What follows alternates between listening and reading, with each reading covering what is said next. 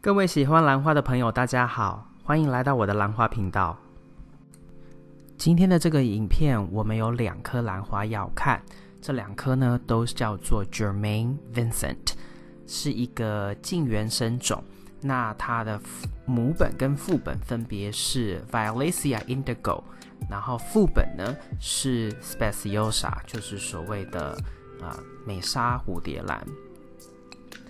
我这个兰花一共有两颗，我们现在看到的是比较大颗的，好，然后等一下我们会看比较小颗的，然后最后呢，因为它们同时的开花周期有一些重叠，所以我有放了它们就是呃。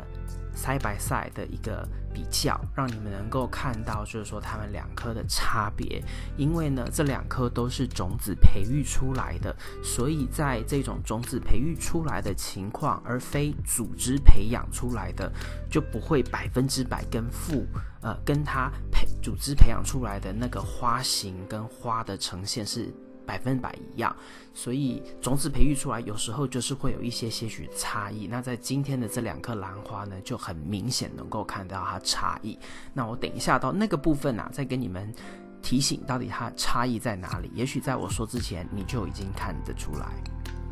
那这两颗兰花呢，都有很浓郁的香味，主要呢还是 Violacea 的味道比较多一点，因为 Speciosa 或者是 Tetraspis 它们的那种香味比较粉，但是我发现这颗的香味还是偏辣一点，辣甜辣甜的，好，所以是比较承袭了 Violacea 的香味。那一样呢是有续花性，也就是说啊，这花梗其实在它还没有自动枯黄之前呢，呃是会。有机会往前继续延伸、继续长的，然后在下一次的开花周期呢，再继续给你来花啊，就是开花。那也有可能从它的这个花梗上面的这些节点上面长出次花梗。好，那这边呢，它一次是先来三朵花，然后你可以看到它的花梗啊，还有在长另外一颗花苞。这个。当下这颗兰花呢，它就是长得还算 OK，但是它的叶子呢，我不是很满意，因为它的叶子的数量啊有点偏少。因为这棵我也养了，嗯，四五年至少了，所以呢，照理讲，这一颗兰花在完全就是有达到各方面养护条件都有达到标准的情况呢，照理讲，它应该至少要有。四四片五片叶子，但是它现在只有三片，表示它在养分上面，或者是可能我重新要把它出盆，重新再种一次哦，才能让它就是在长得更好一些。那这是另外一个影片片段，那你可以发现哦，这颗兰花它的这个颜色呢，其实蛮接近。Violacea indigo 那种荧光蝴蝶兰的特色，就是它其实整朵花看似好像是同一个颜色，但是你注意看它，其实它的中心还有它右上两、右上左上两个花瓣的那颜色呢，会稍微淡一点点哦。所以这是荧光蝴蝶兰它比较，就是 Violacea 它比较会出现的特征，特别是在 indigo 这个呃这个品相的 Violacea 里面是蛮容易出现的。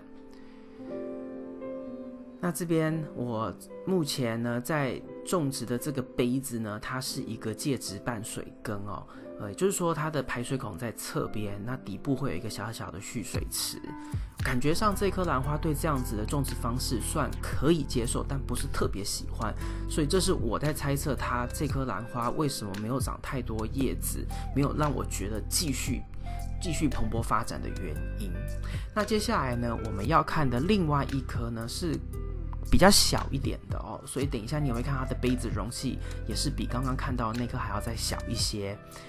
呃，但是这颗比较不一样的地方是，它反而花梗是比较多，长比较多的花梗哦。那这一颗呢，当时我会把它放到比较小的容器里面，也是因为它的根系没有另外一颗来的多。来的大，所以我还是决定呢，把它种到比较小的杯子里面去。等到它根系够了，我再把它移到稍微大一点的容器里面。现在它的这个容器是应该是 A 盎司而已，就小小的一杯。那我接下来呢，可能会把它换到十到十二盎司的这种杯，塑胶杯里面去。那不知道你有没有看到？这一颗比较小开出来的花有没有什么不太一样的地方？我先停个几秒钟，让你们观察一下，看看是不是能够跟刚刚开的那一株花朵上有有没有感觉有什么不一样的地方？其实呢，如果你跟我频道一段时间啊。这这一颗兰花跟刚刚另外一颗兰花，其实在我频道里面也讲过了，所以如果你有看到以前频道，你一定早就已经知道它的差别在哪里。那这边呢，我也就不多卖关子了。这一颗兰花呀，它的唇上面呢，哦，比较承袭了 Speciosa 的那个毛毛唇的部分，就它的唇上面有一些细毛之外呢，你看它的右上左上的两个花瓣。它其实的周围是有白边的，而另外刚刚的那一颗比较大的呢是没有。好，所以等一下你在做看到就是他们互相放在一起比较的影片或者是照片，你就会看得非常的清楚。那这边就像我刚刚说的哦，它是在一个更小的容器里面，因为当时根系没有很多。那我里面这个容器呢，我一样是。用内外杯交叠的方式哦，来让它呃，就是在传统种植方式跟这个介质半水培这两个方式的应用上面来做呃替换。有时候呢，我会斟酌让它底部有一些水，那有时候呢，我不要让它有水，所以就是看当时的情况而定。那这边呢，就是一个呃。它们放在一起的比较，你们很明显的就能够看出来它们的开花的不太一样的地方。两朵两两颗花，它的唇的部分，一个有毛毛的，一个没有。然后另外呢，它比较大的那一颗就是右边的这颗，它整个花的颜色分布的比较饱和，比较均匀。左边的这一颗呢，就是明显的它有白边，左上右上那两片花瓣上面是有白边的。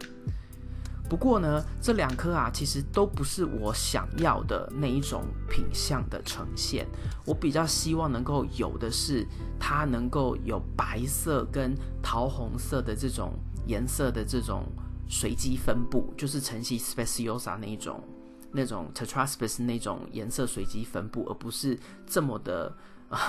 一致的颜色哦。因为当时购买的时候，照片上啊，它是。给我们看到的那一张，但是因为种子培育，所以开花出来，等到开奖开花的时候呢，你才会知道你拿到的这个种子培育出来的兰花到底它的要呈现的花是什么样的情况。